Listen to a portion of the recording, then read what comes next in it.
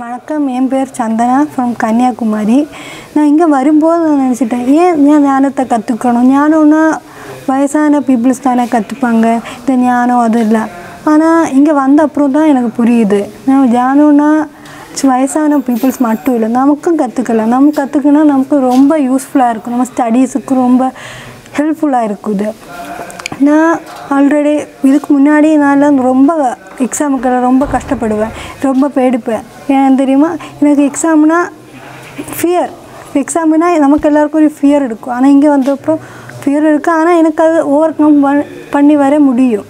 அந்த ஒரு இது இருக்குது ஆனால் நான் நான் என்ன வயசு என் வயசில் இருக்க எல்லா பசங்களும் நினைப்பாங்க ஏன் இந்த வயசுல இது இப்போ இப்படியெல்லாம் பண்ணுறாங்க அப்படி ஒன்றுமே இல்லை. இது ரொம்ப யூஸ்ஃபுல்லாக இருக்கும் உங்களுக்கு.